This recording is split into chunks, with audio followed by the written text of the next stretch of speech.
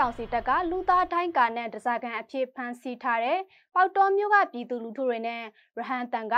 တက်ကြီးရွေအိုးကလေးတငယ်ကိုဝန်ဆောင်အမျိုးသမီးအချို့ပါဝင်တဲ့အယောက်တရာနီးပါးကိုအောင်မြင်စွာကယ်ထုတ်နိုင်ခဲ့တယ်လို့ရခိုင်တပ်တော်ကမနေ့ကသတင်းထုတ်ပြန်ထားပါတယ်။မနေ့ကနိုဝင်ဘာလ22ရက်နေ့လယ်12နာရီကျော်လောက်ကပေါတော်မျိုးအတွင်းမှာရှိတဲ့နေရာအချို့နဲ့လောကထိပ်ပံဖျားကုန်းတို့မှာစစ်ကောင်စီတပ်နဲ့ရခိုင်တပ်တော် AA တို့မြို့တွင်းတိုက်ပွဲဖြစ်ပွားခဲ့တယ်လို့သိရပါတယ်။ စစ်ကောင်စီတပ်ဟာပေါတော်မြို့ကရဟန်းတန်ကအပါအဝင်ဒေသခံပြည်သူလူထုတရားနီးပါးကိုတစားခံနဲ့လူသားတိုက်ကအဖြစ်အုံပြုဖို့အတွက်နိုဝင်ဘာလ16ရက်နေ့ကနေစတင်ပြီးဖမ်းဆီးထားခဲ့တာဖြစ်ပါတယ်။6ရက်မြောက်နေ့ဖြစ်တဲ့မနေ့ကတော့ AA ကပေါတော်မြို့အတွင်းကစစ်ကောင်စီတပ်ဖွဲ့ဝင်တွေရှိတဲ့နေရာတွေကိုဝင်ရောက်တိုက်ခိုက်ခဲ့ပြီးဒဇခံပြည်သူလူထုအားလုံးကိုဘင်းအန်ကင်းစွာဖြင့်ကထုံနိုင်ဖို့စ조사ရာကနေတိုက်ပွဲဖြစ်ပွားခဲ့တာဖြစ်တယ်လို့သိရပါဗျ။။ တစားခန့်ပြည်သူလူထုကိုကေတင်နိုင်ခဲ့တဲ့ဒီတိုက်ပွဲက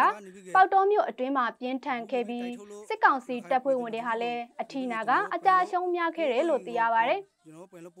။ရန်သူလက်နက်ခဲယမ်းတချို့ကို AA ကတင်ဆက်ရမိပြီး AA ဘက်ကလည်းအာရခစစ်တဲ့အချို့အသက်ပေးဆက်ခဲ့ရပြီးဒဏ်ရာရရှိသူအချို့ရှိခဲ့တယ်လို့လည်းဖော်ပြထားပါတယ်။ဒါကြောင့်စစ်ကောင်စီတပ်ဟာလေကြောင်းရေကြောင်းလက်နက်ကြီးတွေအတွေးလိုက်တုံးတွေနဲ့တိုက်ပွဲဖြစ်ပေါ်ရာနေရာတွေကိုတမက တိုက်ပွဲဖြစ်ပွားခြင်းမရှိတဲ့နေရာတွေကိုပါရန်တမ်းပစ်ခတ်တိုက်ခိုက်နေတာကိုဒီနေ့အချိန်ထိပြုလုပ်နေတယ်လို့သိရပါတယ်။ပေါတောမြို့အတွင်းမှာကျန်ရှိနေသေးတဲ့စစ်ကောင်စီတပ်ဖွဲ့ဝင်တွေကိုဆက်လက်ချေမှုန်းလျက်ရှိပြီးကျန်ရှိနေသေးတဲ့ဒဇာခံတွေကိုလည်းအန်ဒီကင်းစော်လွတ်မြောက်နိုင်ရဲ့အတွက်ဆက်လက်ကြိုးပမ်းဆောင်ရွက်နေတယ်လို့ AA ကထုတ်ပြန်ထားပါတယ်။